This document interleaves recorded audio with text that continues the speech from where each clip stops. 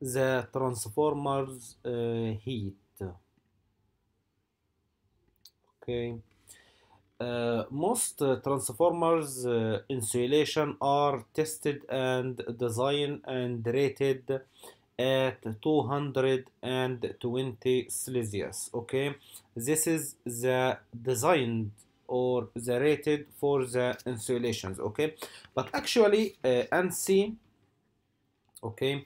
States that the transformers uh, uh, highest uh, permitted uh, temperature okay or the rated temperature is equals uh, to the ambient temperature okay plus 65 which means if the ambient temperature in the environment is equals to 30 it means that the rated temperature for this transformers is equals to 90 uh, 5 Celsius uh, degree okay? So this is the rated uh, temperature of the transformer.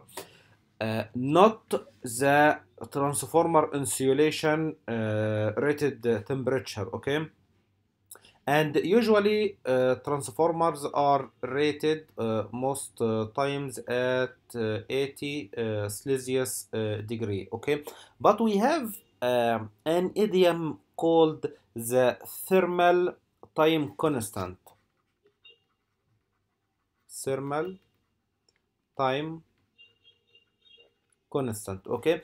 And this thermal time constant is related to the temperature in which the transformer can withstand for a specific time. Uh, that's why uh, when you read the data sheet of the transformer and I mean the oil fulfilled uh, transformers okay? Because the oil is or has uh, uh, high thermal time constant than any other uh, transformers okay? Uh, and uh, as I said in many data sheets of of oil transformers you can find that um, the transformer usually are operating at 80% of its uh, full load okay? But you will find that it can stand up with a full load for a specific times maybe for six hours okay? And they can stand up with 110 uh, percent for maybe four hours okay? For four hours. And it can stand up with 120 percent for one hours okay?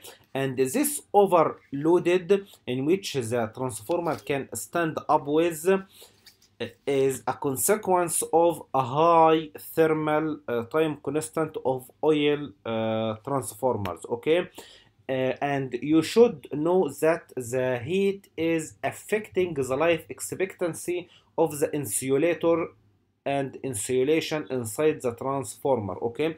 In which means uh, working with transformer working with 80 degree uh, Celsius degree uh, all the time has um, a short life expectancy than a transformer working with 95 uh, Celsius degree for two or four hours a day okay? And back to its uh, uh, normal um, temperature okay? Uh, this is uh, or working a lot of time with uh, a heat at critical heat or overheating uh, affecting the life expectancy of the transformer due to accumulative uh, heat or accumulative thermal uh, heat on the transformer okay? So heat is a very important point to take care of while operating and designing the transformers uh, systems. Thank you